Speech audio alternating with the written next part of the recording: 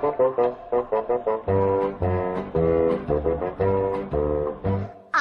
want a hippopotamus for Christmas.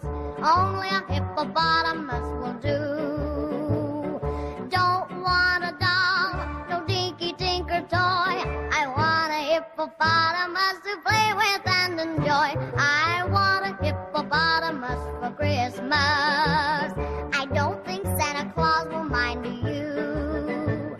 He won't have to use a dirty chimney flue. Just bring him through the front door. That's the easy thing to do. I can see me now on Christmas morning creeping down the stairs.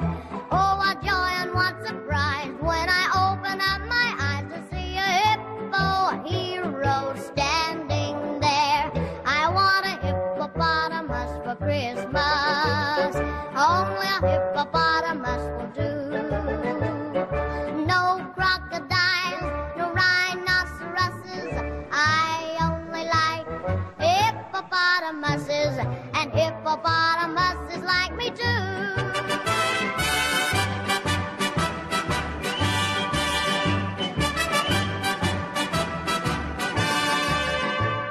Mom says the hippo would eat me up, but then teacher says a hippo is a vegetarian.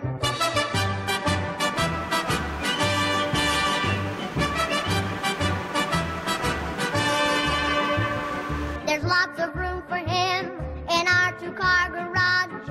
I'd feed him there and wash him there and give him his massage. I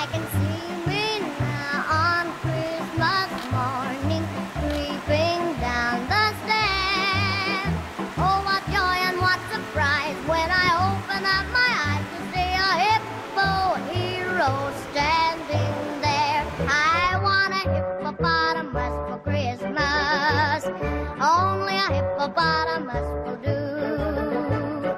No crocodiles or rhinoceroses. I